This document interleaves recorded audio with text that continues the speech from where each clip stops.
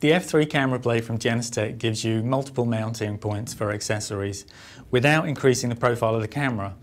It's easy to attach to the camera without actually taking the handle off and the bridges add rigidity to the aluminium frame.